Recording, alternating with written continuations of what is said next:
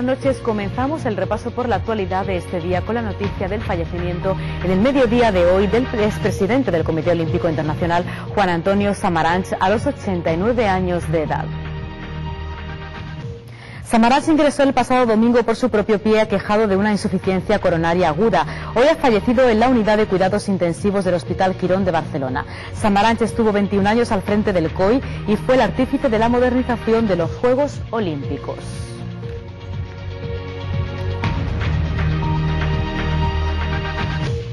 Y hoy el pleno monográfico en el Congreso de los Diputados sobre el último Consejo de la Unión Europea, una sesión de que ha servido para hacer un análisis de la economía española. A raíz del rescate europeo del país heleno, el presidente de los populares, Mariano Rajoy, se ha mostrado contundente. La subida del IVA y el gasto público también se han puesto sobre la mesa en esta sesión.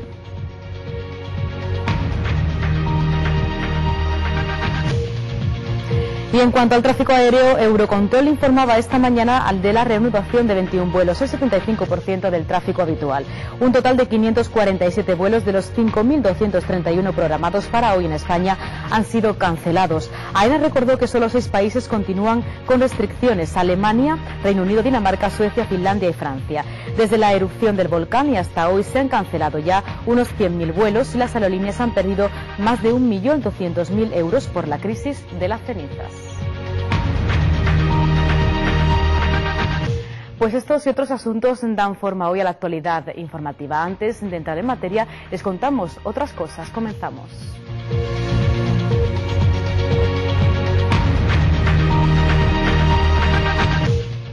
Continúa la polémica por el uso del velo islámico. Hoy la chica no ha vuelto a clase por temor a sus compañeras.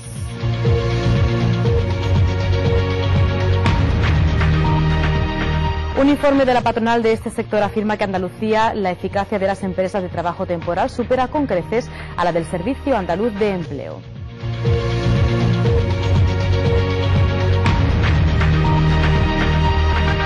La paz social parece haberse acabado en Astillero después de que la Junta de Andalucía anunciase que la hoja de ruta planteada para la empresa no será factible. Y se acerca el verano y todos queremos estar guapos por dentro y por supuesto por fuera. Pero ¿dónde está la clave? En el equilibrio.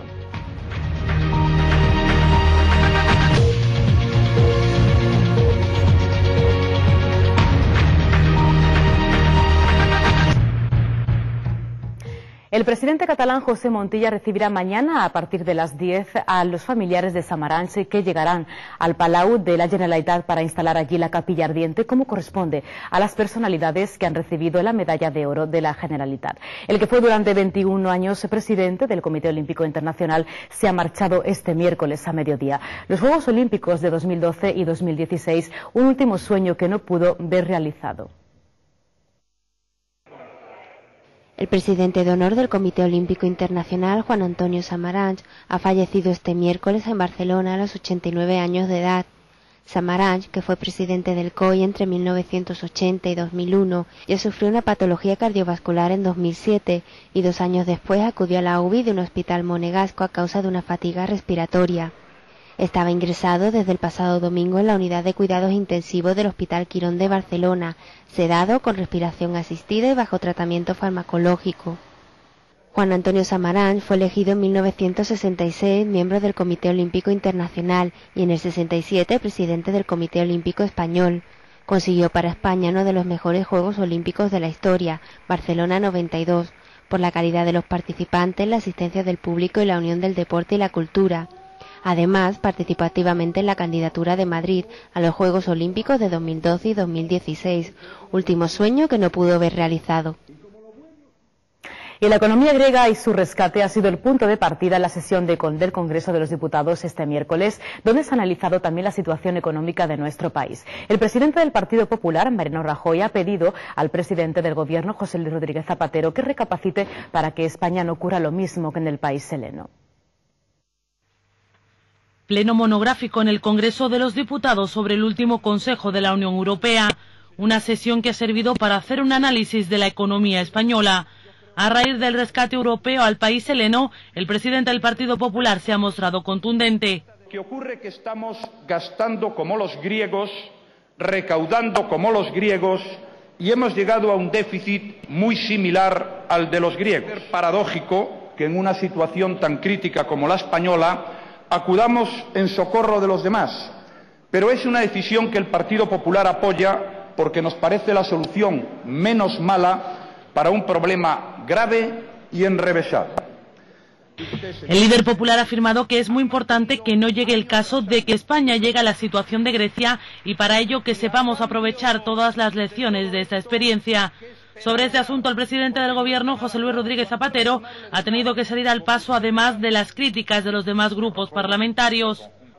La estrategia económica, los objetivos de la estrategia económica y, en concreto, los activos y los problemas que en esa estrategia económica hacia el 2020 tiene nuestro país, España, a la hora de afrontar la más rápida salida posible de la crisis y el horizonte de sostenibilidad. En otro orden de cosas, Rajoy ha criticado la política fiscal del Gobierno, en especial la subida del IVA que subraya caerá como un granizo sobre la economía española por la falta de reformas estructurales para afrontar sin dilación una contención del gasto público de estabilidad y equilibrio presupuestario. Esta lección es esencial para España, cuyo Gobierno todavía no se ha tomado suficientemente en serio, insisto, suficientemente en serio, la necesidad de ajustar sus cuentas públicas. Además, Rajoy ha urgido al jefe del Ejecutivo que se ponga a trabajar y a emprender reformas para contener el gasto que ha provocado que se dispare el paro y caiga el consumo.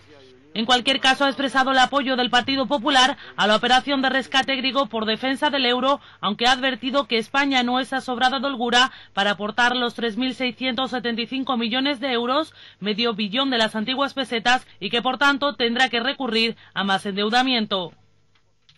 Y Eurocontrol informaba esta mañana de la reanudación de 21 vuelos, el 75% del tráfico habitual. Un caos en el tráfico aéreo que está repercutiendo y de qué manera en la economía. De hecho, es la mayor crisis conocida en este sector y también el turismo. Solo las aerolíneas han perdido 1.260 millones de euros. El dato menos negativo es que las consecuencias, según los expertos, no serán graves para el clima.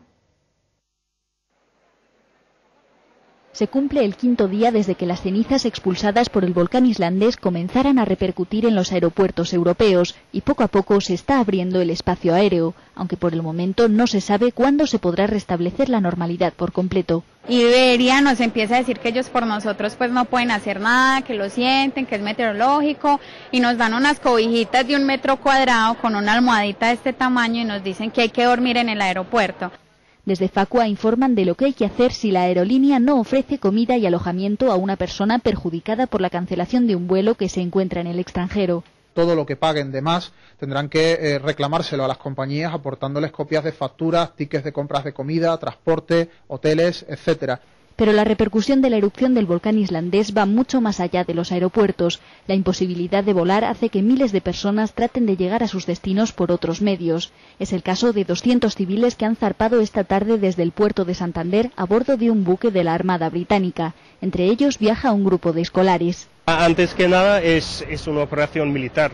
Eh, sirve para transferir las tropas de Afganistán por, España, gracias, y luego a Inglaterra pero lo que queremos hacer es utilizar la capacidad que podemos también ah, utilizar para algunos eh, ciudadanos más vulnerables británicos.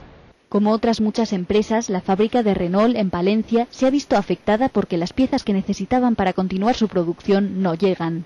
Y el avión al final no pudo llegar y nos obligó a, parar la producción ya el viernes. A pesar de las múltiples consecuencias de la actividad de este volcán, los expertos aseguran que se trata de una erupción pequeña que probablemente no afectará a la temperatura global del planeta. Taxis, coches particulares, vehículos de alquiler, trenes, autocares, ferries, cruceros de lujo e incluso barcos de la Royal Navy se están empleando a fondo durante esa semana para poder repatriar a los turistas hacia el centro y el norte de Europa.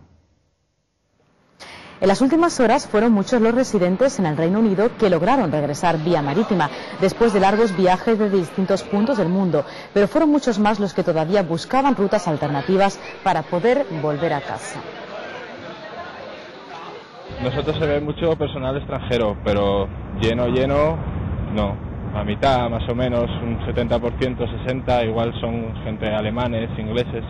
Hemos cambiado un día la ruta y no hemos ido por Ibiza debido al número de pasaje para ir directos de aquí a Valencia. Pero por lo demás se nota más gente de noche, más gente de día, igual los días que había 90 y 190, un día que te vienen 300 que no lo esperabas, pero por lo demás parecido.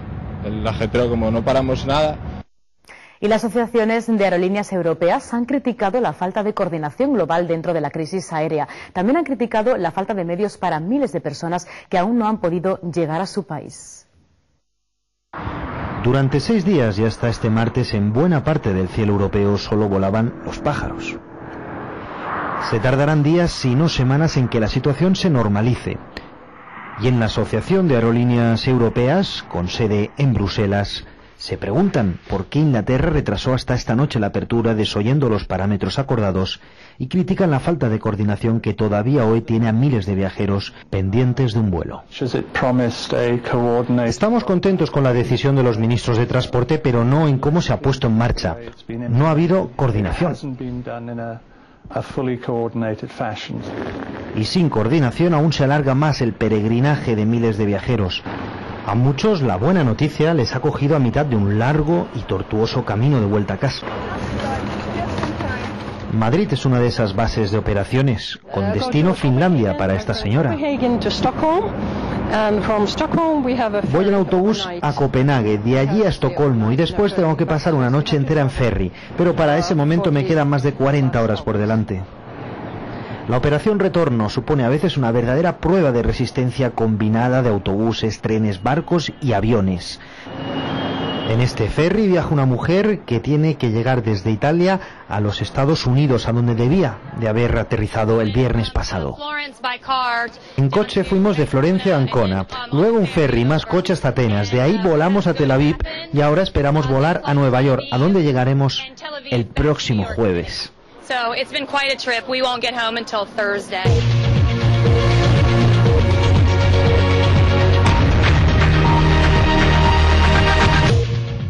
Y el centro Camilo José Cela de la localidad madrileña de Pozuelo del Alarcón ha sido de nuevo esta mañana escenario de la batalla que libran unas niñas españolas musulmanas contra la prohibición de cubrir sus cabezas con un velo islámico que impera en este centro.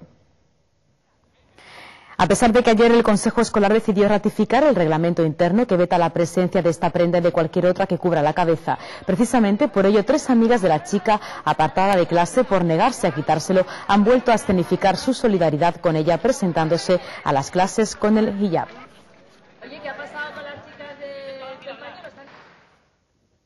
Y el próximo sábado tendrá lugar en Fuengirola una manifestación para protestar contra la actual ley del menor. Este municipio costasoleño está especialmente sensibilizado con este tema tras el asesinato el pasado mes de febrero del joven Salvador Cortés a manos de un menor marroquí. El 22 de febrero, el joven fuengiroleño Salva Cortés será asesinado en el Parque del Rosario. El presunto autor, un joven de nacionalidad marroquí. De forma inmediata comenzaban las muestras de duelo por el suceso, que se suma a la larga lista de crímenes cometidos por menores. La más multitudinaria de esas demostraciones fue la concentración que tuvo lugar el viernes de esa misma semana. Ya entonces se anunció la voluntad de la familia, con el respaldo del ayuntamiento, de convocar una gran manifestación en recuerdo de Salva y para exigir que el gobierno de la nación cambie la ley, de forma que los menores que cometen asesinatos cumplan una pena proporcional a un delito especialmente doloroso. Vamos a llevar una propuesta para la modificación, exigiendo al gobierno la modificación tanto de la ley del menor como del Código Penal en los delitos que en este caso nos están ocupando, es decir, en delitos que afectan a menores, en delitos especialmente dolorosos, no solo para la familia, como digo, sino para toda la gente de bien. La manifestación tendrá lugar el 24 de abril y todos estamos convocados. Además de la familia de Salva y de la madre de Sandra Palo, también está prevista la presencia del padre de Cristina, la niña asesinada en Seseña, también presuntamente por otra menor. A ver, mm, espero que colabore todo aquel que, que pueda a ver si somos capaces de, llegar, no sé, alguna solución al, al, problema que hay, si somos capaces de,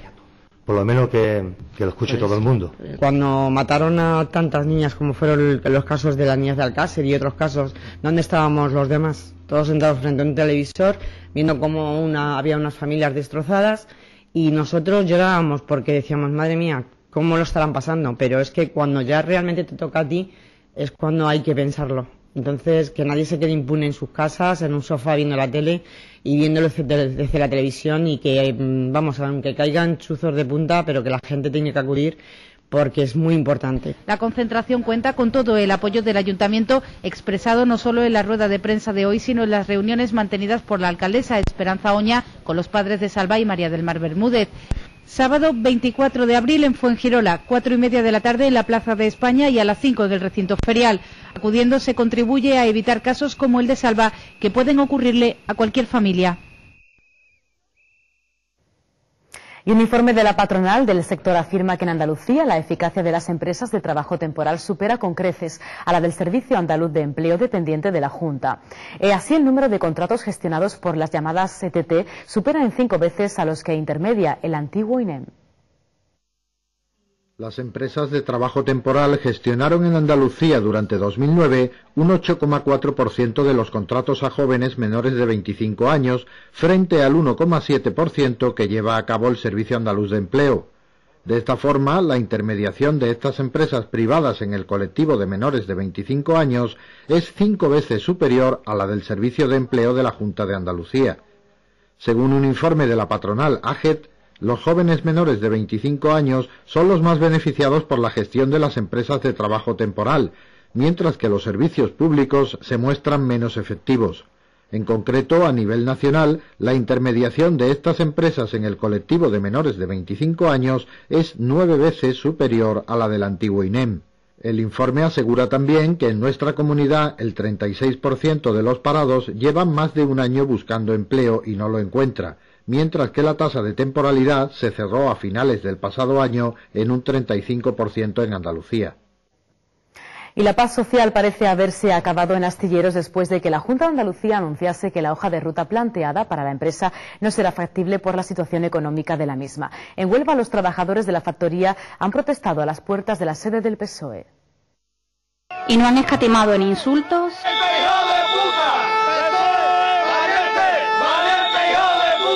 Pitos y hasta lanzamiento de huevos contra la fachada de la sede socialista. Solo han llegado hasta sus puertas para pedir explicaciones a Mario Jiménez, secretario provincial del PSOE. No han sido recibidos por él, aunque sí citados para un posible encuentro. Sí han hablado con la prensa para contarnos que las cosas pintan cada vez peor. La situación actualmente es mal porque la reunión que mantuvieron los sindicatos con la administración el viernes en Sevilla pues a nosotros no nos favorece. Dicen que ahora se dan cuenta que hay más más débito de lo de antes y aquí siempre se ha dicho más o menos los 280 millones desde el principio. Un día más reclaman a la Junta de Andalucía que cumpla lo prometido a los sindicatos en su famosa hoja de ruta, también al PSOE. Ellos también, conjunto con la Administración, decía que nos iban a ayudar a, que salga, a salir del problema que teníamos y por eso venimos aquí a reivindicarlo a lo que es el PSOE. Entonces nosotros lo que queremos es que se cumpla lo que es la hoja de ruta, que es lo que ellos nos han dicho y nos han pactado con los sindicatos. Y según la hoja de ruta, ahora debería estar pasando lo que nos cuenta Isidro. Ahora mismo lo que se tenía que estar haciendo es mm, buscando financiación para los dos buques que están ahora mismo paralizados y ponerlo en marcha. Entonces entraríamos todos los trabajadores a trabajar. Algo que no está sucediendo, por eso hay miedo entre estos trabajadores. El temor nuestro eh, hombre, es el dinero, ¿no? De las nóminas, pero que el mayor miedo que estamos teniendo los trabajadores es que estamos viendo que parece que van a dejar morir el astillero y entonces nosotros no queremos que eso se pierda, lo que es los puestos de trabajo aquí en el astillero y por eso nosotros vamos a luchar hasta el final. Las movilizaciones continuarán esta semana. La próxima protesta será mañana con una jornada de huelga en los astilleros.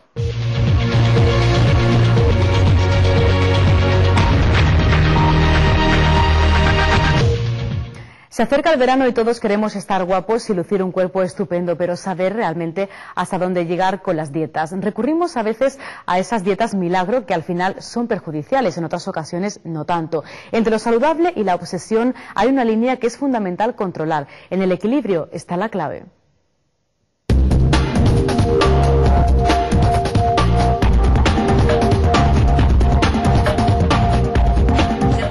Época estival y con ella suben las temperaturas. Comenzamos a vestirnos con prendas veraniegas y a frecuentar las playas y piscinas. Y por supuesto todos queremos lucir bien el bañador o el bikini, sin kilos de sobra y si fuera posible, con mejor figura cada año. Pero muchas veces esto puede llegar a convertirse en una obsesión por alcanzar ese imposible que continuamente nos venden los medios de comunicación. El no lograr ese ideal puede llegar a frustrarnos y hacernos sentir profundamente infelices, hasta tal punto que diferentes enfermedades o trastornos emocionales como la anorexia, la bulimia o la vigorexia pueden surgir de esa insatisfacción. El físico, queramos o no, prima en nuestra sociedad y el canon de belleza que nos colocan como estandarte realmente no existe. Las mujeres y hombres 10, los más guapos y atractivos del mundo, valorados por todas las revistas y diferentes medios de comunicación, no son tanto como nos venden. Y todos podríamos llegar a ser tan guapos y atractivos como ellos, eso sí, gracias a métodos como el Photoshop.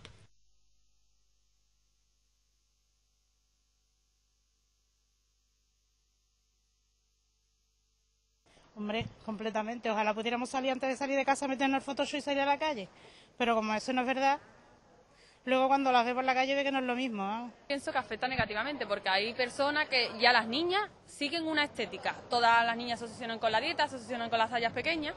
¿Y qué pasa? Que eso está afectando negativamente. Que tú vas a una tienda y te ves las modelos, los maniquíes esqueléticos perdidos que tú dices, por Dios.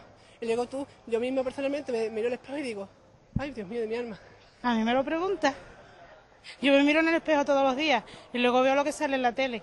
Y francamente, si a mí me sienta mal y me siento mal, los jóvenes pienso que tienen que estar chafados. Esta época que llega es muy propicia a la mala alimentación. Muchos quieren adelgazar rápidamente esos kilos que han cogido y que el bañador delata. Así que las dietas milagros se vuelven protagonistas. El doctor Luis Escobar, antes de hablar de los alimentos beneficiosos o contrarios para llevar una alimentación adecuada, nos nombra algo fundamental que siempre que busquemos una mejoría desde el punto de vista estético, de la mejora de la autoestima, que en el fondo es lo que se persigue, eso lo unamos a la salud, para conseguir eh, que tengamos un cuerpo adecuado a lo que queremos tener, pero al mismo tiempo un cuerpo saludable.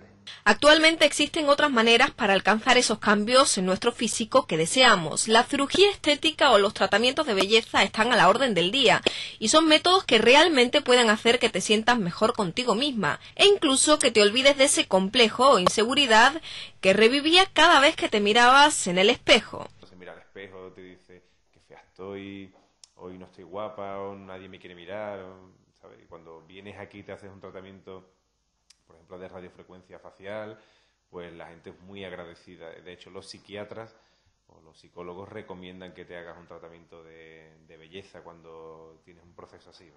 Sin embargo, la presión que ejercen los medios de comunicación puede llevarnos a la obsesión, cayendo en un círculo vicioso de insatisfacción personal, porque por más dietas, ejercicios y tratamientos de belleza que hagas, nunca consigues tu meta. Aquí juegan un papel fundamental los especialistas, que en muchas ocasiones ejercen de psicólogos. Bueno, el equilibrio estaría principalmente delante de quien te sientes.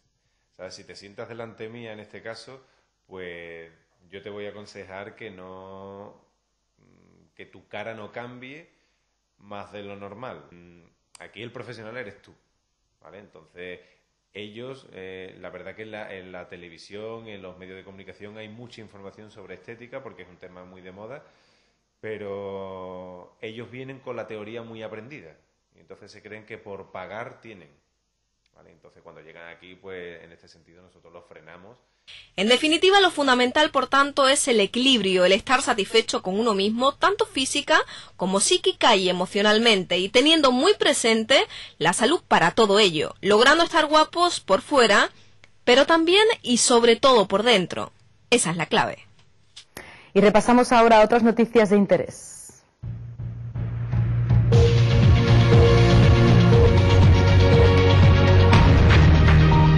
La consejera para la Igualdad y Bienestar Social de la Junta, Micaela Navarro, ha indicado que según los datos del Consejo General del Poder Judicial, en Andalucía se presentaron casi 27.000 denuncias por violencia de género. Asimismo, el año pasado se dictaron casi 5.300 órdenes de protección en la comunidad.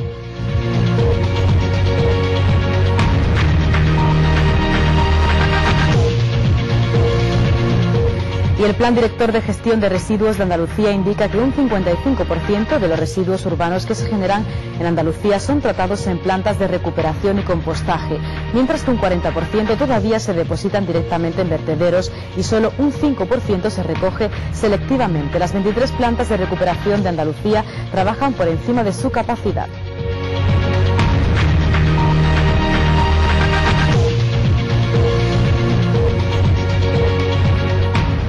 Y desde la Junta de Andalucía se ha reconocido que los caminos que llevan a la aldea almonteña del Rocío, dañados a causa del temporal, no van a poder estar en perfecto estado, aunque sí transitables para la romería.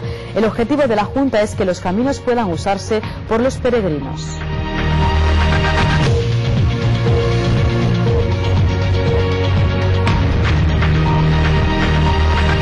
La Andalucía Film Commission ha presentado el informe anual sobre los rodajes asistidos por su entidad durante 2009 que ascienden a 1.162, cifra algo superior a la del año anterior. La entidad destaca que Andalucía ha mantenido el volumen de actividad en los rodajes.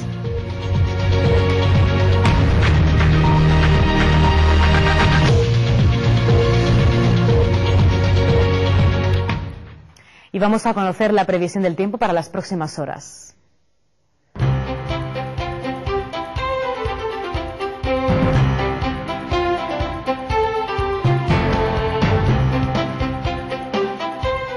Para la jornada de mañana tendremos una nueva borrasca que entra por el norte del país, afectando sobre todo a la cordillera cantábrica y la zona nororiental de España. También tendremos una bajada de temperaturas que afectará sobre todo a la mitad norte de la península ibérica.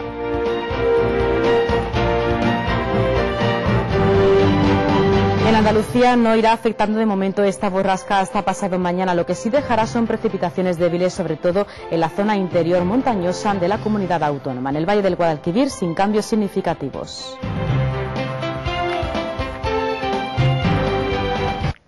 Y estamos ya inmersos en plena feria de abril, aunque el tiempo está afectando de manera importante durante esta jornada. A lo que también afecta, parece ser, son a los bolsillos de todos los andaluces. Según la Unión de Consumidores, se prevé que cada familia gaste por encima de los 800 euros. Un estudio elaborado por la Unión de Consumidores concluye que los sevillanos gastarán de media unos 816 euros durante la celebración de la Feria de Abril, en concreto, cada sevillano se gastará en torno a 450 euros en comer dentro del recinto ferial. De igual forma, y como elemento inherente a la feria hispalense, se encuentra la calle del infierno, que aglutinará a gran parte de los ciudadanos sevillanos, quienes gastarán en sus atracciones en torno a los 200 euros.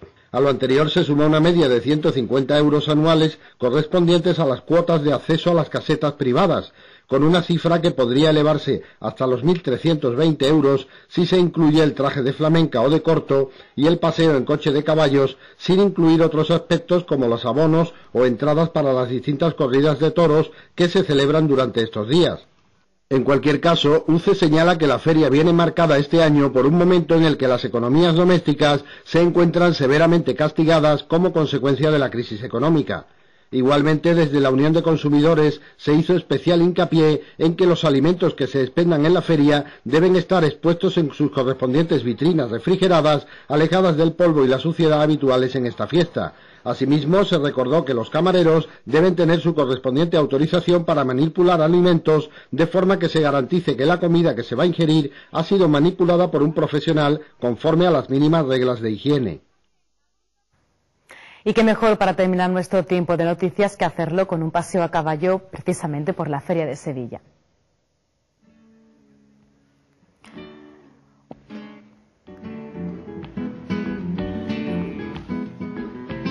Un paseo que es sin duda una de las señas de identidad de la feria sevillana. A eso del mediodía las calles del Real se llenan de caballistas y enganches que se convierten en todo un espectáculo de color. Es una de las reminiscencias de la feria de ganado que fue ya en su origen hace más de 100 años. Hoy por hoy es además el único modo de desplazarse por el Real de la Feria de una forma más cómoda que el simple paseo a pie, ya que los vehículos a motor, por ejemplo, no pueden entrar en el recinto ferial.